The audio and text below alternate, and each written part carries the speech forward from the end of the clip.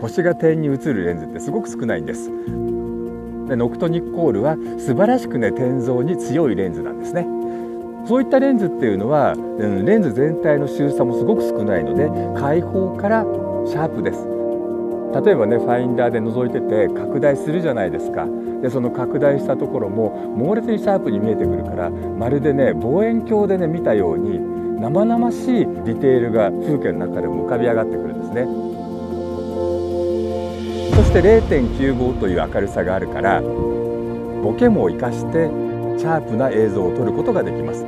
ボケとねシャープさを生かした新しい風景写真が撮れるそれがこのノクトニッコールなんじゃないかと思います。